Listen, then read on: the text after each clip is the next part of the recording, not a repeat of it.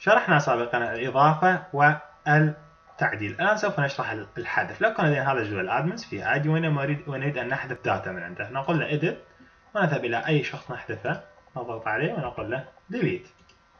مباشرة.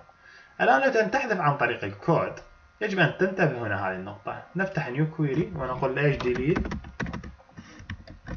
delete اسم الجدول يا جدول أحذف منه admin. متى أحذف هنا الشرط؟ where ال condition متى أحذف أنا؟ يجب أن يكون ال condition unique؟ يعني الاثنين يتشابهون فيه. لما أحذف مثلا أحمد أقول له عندما ال ID يساوي لنا واحد. أو أقول له عندما ال name يساوي لنا أحمد.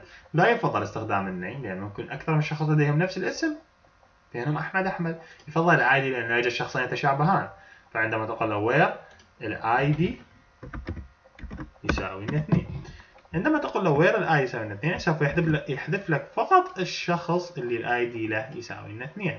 لو نفذت ترى row affected لو ترى أنه select ال data ترى أنه حسين ال ID 2 تم حذفه.